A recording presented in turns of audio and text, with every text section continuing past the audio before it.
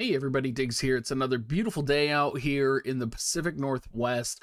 Today we're going to be talking about something that I've been thinking about for a long time now, pretty much ever since EX came out. It's shown up in a couple of my other videos, and it's a conversation about the modification of base stats for 120 units and just kind of a shift in the game from where we were before to where we're at now. Specifically, uh, what I want to focus on is HP values because I believe that the change in HP values has actually changed the prioritization of stats in the game. And I think that HP is quite likely the most important stat in the game right now.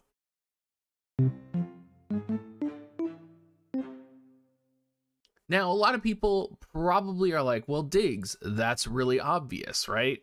Well, I'm not quite sure about that, right?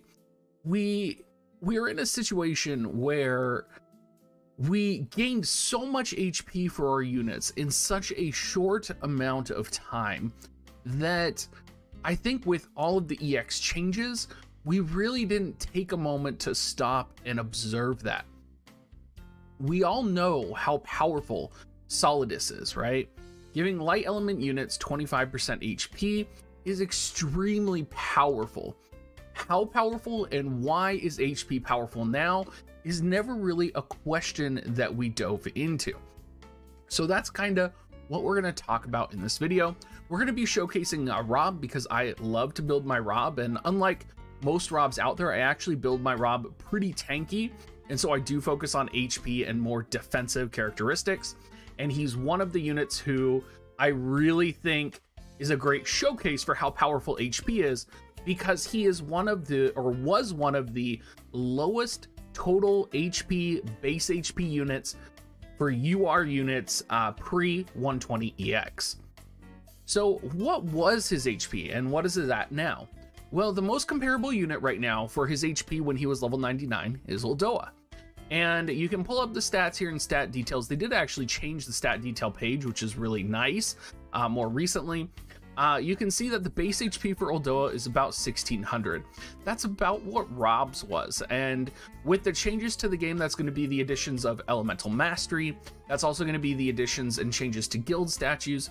You can see that I have an additional 547 HP on top of that, which we previously didn't really have, right? We had guild statue HP, but we didn't really have mastery level EX, uh, HP uh, in this. So that is one factor to keep in mind, right? This was maybe about 200 previously, maybe about 150. So already off the bat, we're getting an addition of like 350 HP for one of the lower UR units in terms of base HP in the game.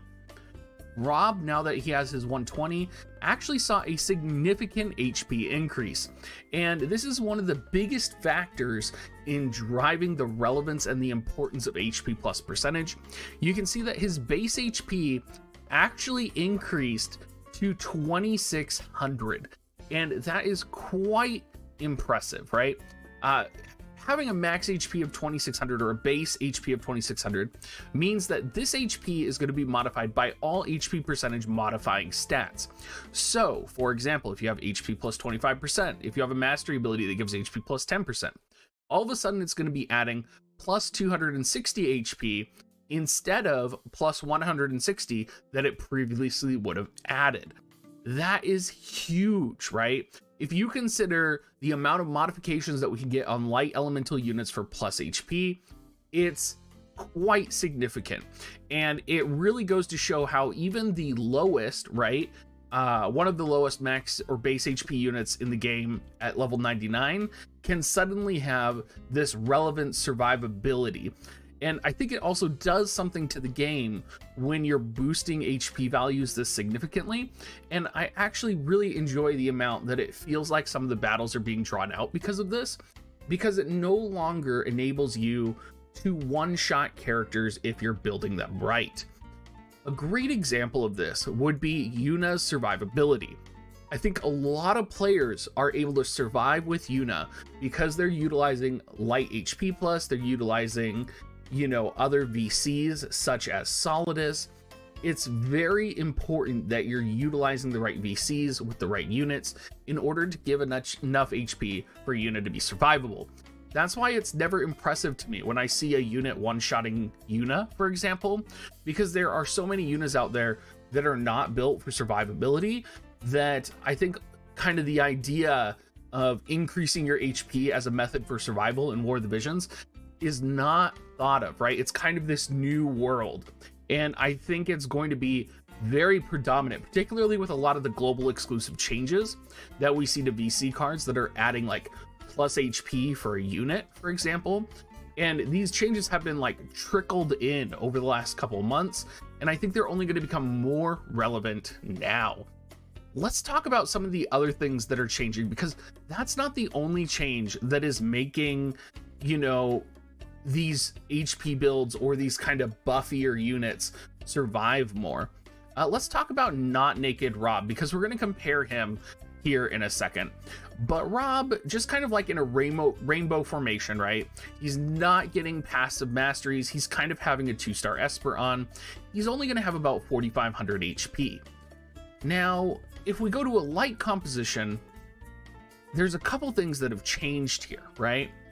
And of course, you're going to be getting the plus percentage HP bonus from uh, these two units. You're going to be getting the HP bonus from Solidus. But the other big factor here, which a lot of people don't see, is the fact that Behemoth is actually on Robb. And I actually believe that Behemoth is probably uh, the strongest Esper right now in terms of melee and capability because of the raw stats that Behemoth brings to the table. I'll just pull Behemoth up.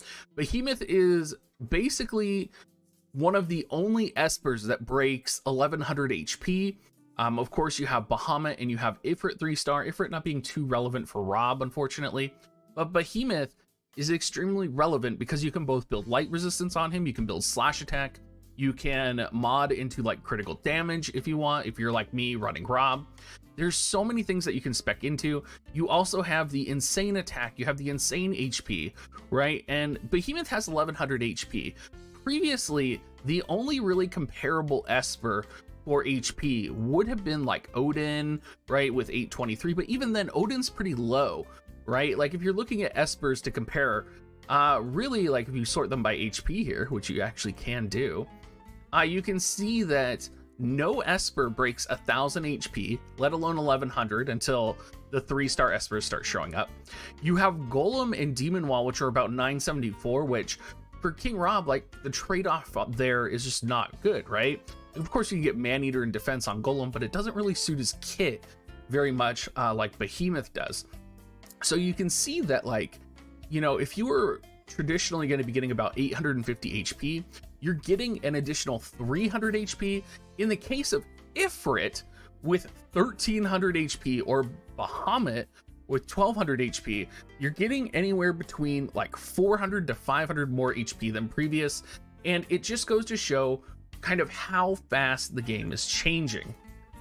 Now, what is Robb's HP at now? It's at 5700. This is one of the lowest base HP units for the UR units in the game. And he is sitting at 5700 in a built composition here. Now, one thing that's a little bit different here, which I haven't, which I have changed. Uh, you'll probably notice Demon Wall VC is on here because I wanted to get the HP value of Robb with Scintillion when it does come out later this week. Because if you actually look at some of the VCs for light elemental VCs, the HP value is really low on them. If you look at Scions of Shadow, it's plus 153, uh, and that's really the only like offensive light elemental VC that you're going to be setting. So when I was looking for like offensive light elemental VCs, uh, I was like, man, well, we, we, we know the Robb card's coming out here in the near future. Uh, you can even see Iron Giant.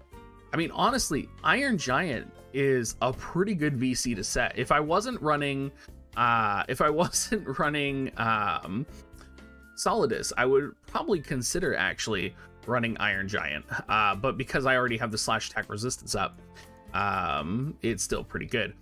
But again, I mean, this just goes to show how critical HP plus is, right? You have a 5700 HP Robb. You have a 5700 HP Yuna. They have almost double essentially their base HP, right? So their basic HP is 2400. Yeah, they have over 100% base HP.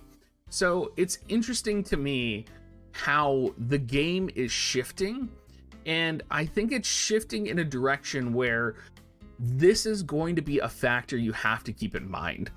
When I was trying to put together my O team, I really struggled to put together the team because I wanted to utilize HP plus VCs and I could not make it work. Uh, let me show you why. I'll go ahead and pull up, I think I have his composition here. I was just running it the other day. Here it is. So this is the one that I took into the tournament that Orange actually ran uh, just the other day. And granted, this tournament was MR only, but the problem that I ran into, right, is that all of a sudden the party ability for Swordsman Refinement for O gives slash attack party up, when really what I wanted to run originally was like a lightning formation with Sid, utilizing Aigaion. But Aigaion, it does have the lightning unit max HP up, but it also gives party-wide slash attack up. So it feels like to me I couldn't run both of those VCs at the same time. And it felt to me that lightning was like an incomplete uh, element, if that makes sense. Because lightning is lacking the key components that say light compositions have. It's lacking lightning mastery abilities, right? You have access to a limb. That's it. We are going to get 9S here in the near future, and we're also going to get 9S's spear, so maybe there's going to be a composition where you're running like 9S, a limb, and O, but we're still missing that powerful UR lightning unit, that powerful UR lightning mastery. And this is not just for lightning. This is for a variety of elements, right? So I love that HP up is a really awesome factor and it's modifying the gameplay for a variety of elements but I'm also frustrated that every element can't be built in a way that is either complementary to that or that is you know just as powerful right now. And as far as i know looking into the future there may or may not be compositions and elements that are kind of undersided or don't have the capability of modifying their units to that extent. And it concerns me a little bit. For those of you who have seen my O, of course I found a way to make him viable with a critical hit build and using some different VCs to kind of bring out attack value um, more than, say, HP and survivability. But all of a sudden it shifts to a glass cannon, which is kind of the old meta, right? Where like you kill your opponent before they can kill you. And it's it's it's not as fun, I feel like. I really want like to be able to build up and build my units with that HP. Uh, anyway, everybody, uh, I uh, hope you had a good time watching and listening to this video. Uh, I've been thinking about this a lot and I really wanted to get it out there. Uh, so I'm glad I was finally able to get it out there. Uh, if you want to support me, make sure you use my affiliate link dig.gs slash coins. And as always, everybody, have a great rest of your day.